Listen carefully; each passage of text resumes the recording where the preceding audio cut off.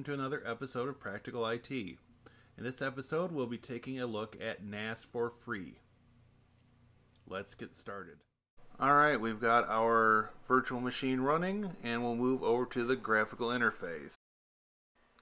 We're on our main status page, and we need to configure our disks. Go to Disks and Management. And our disks are displayed but we need to prepare those disks for use by the system. So we're going to go to hard drive format, select the disks we need to format. We're going to format them as a ZFS storage pool. We select next. Supply a volume name.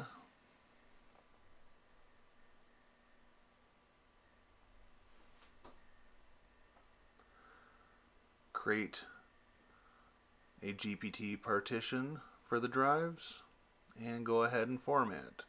As you can see at the bottom of the screen, you will get some status information back and also that the web page shows activity down at the bottom left corner. When the activity is stopped and the status messages have concluded, we can move on to the next step.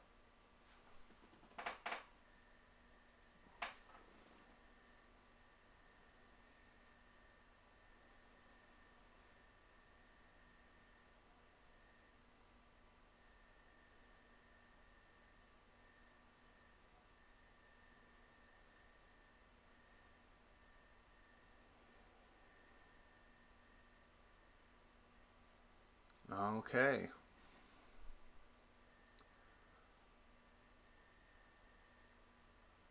Now we are formatted with ZFS storage pool file system.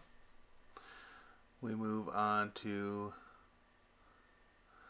virtual device creation. Click the plus button for add, supply a name,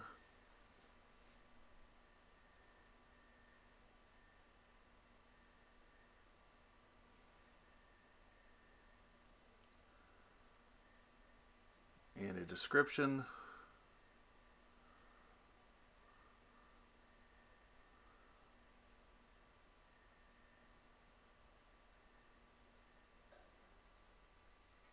And select the devices you want to work with.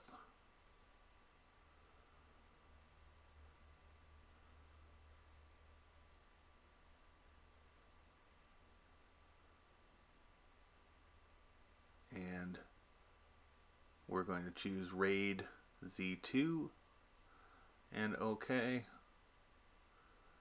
and apply and we've now got our virtual device created.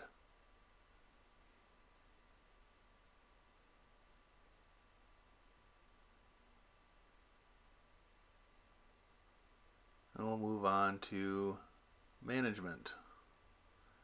And again, we go to the plus button to add. Supply a name.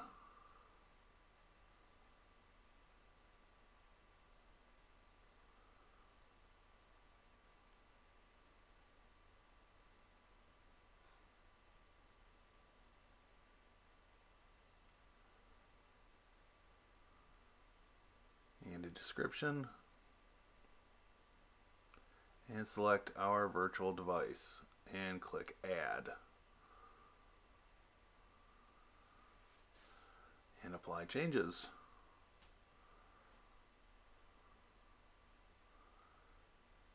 And we can now see our free space and capacity and the total size and the fact that it's online.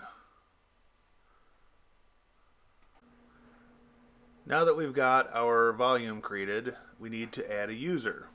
We go to Access, Users and Groups, click the plus button to add, type in the name, which would be the username, the full name of the person, password goes in twice, We can look at the rest of the options for primary and secondary groups.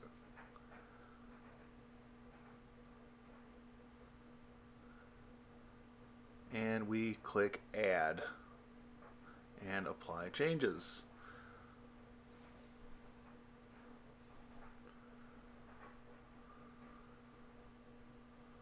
And we can see that our user is created.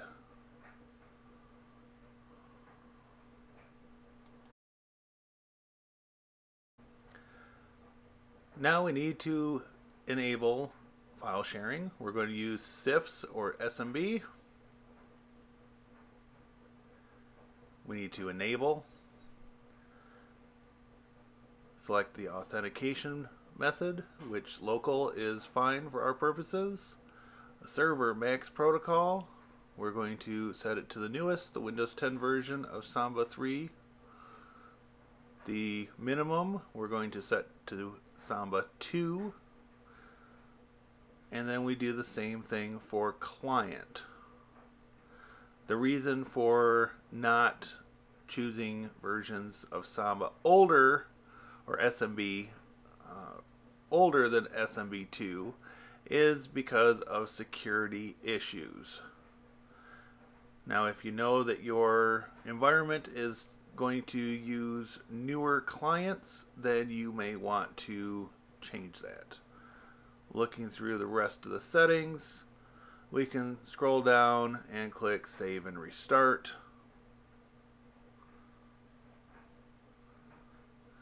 And we should be all set to go.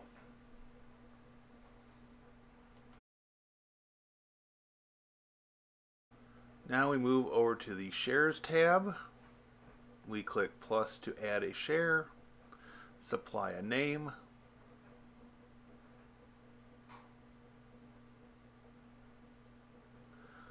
a comment,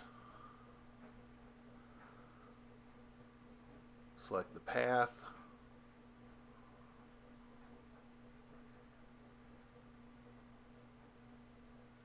and we can pretty much leave all the other Options alone. Yes, the comment is required. I did not catch that on the first time through. So add your comment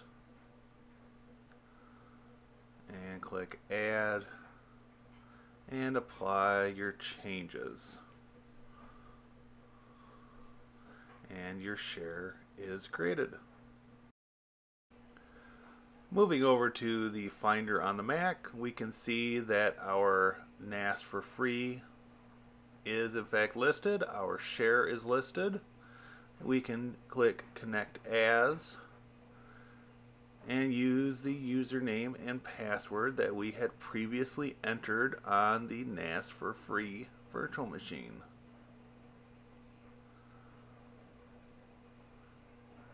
And now clicking on our shared folder, we can add a new folder.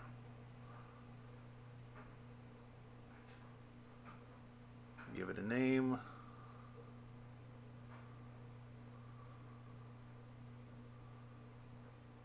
And we can go and grab some random files and drag and drop them over and they populate over onto the NAS4Free shared folder.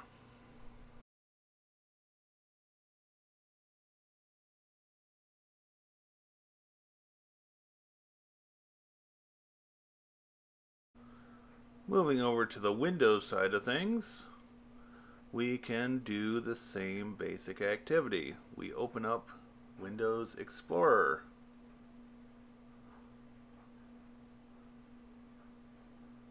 and we can quite simply put in the double backslash and the IP address of our NAS4Free device and it will ask for credentials to connect.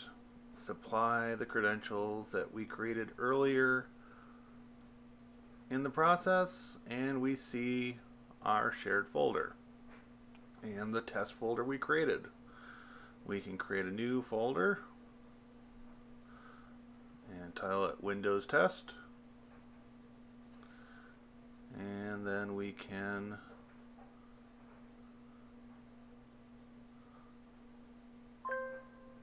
go to documents. Again copy some somewhat random files.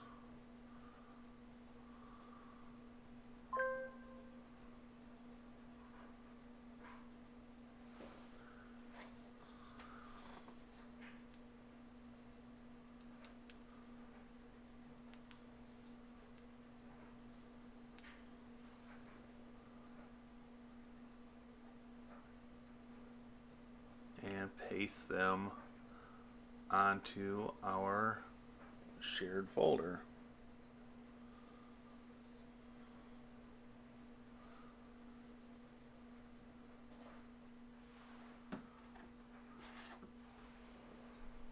Alright.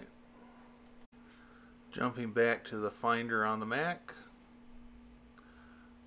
we can navigate to our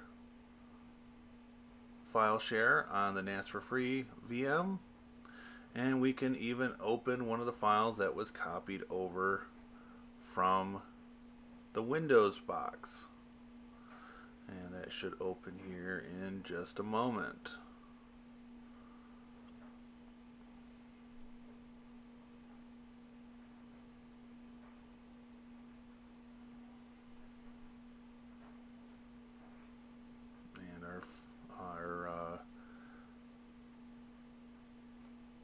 Network capture is loading in Wireshark. Take just a moment to pop up the details. And there we go. This was captured on the Windows machine. And it opens just fine on the Mac. Thank you for watching. If you like this video, please hit the like button and subscribe and click the bell to be notified of future videos. Have a great day.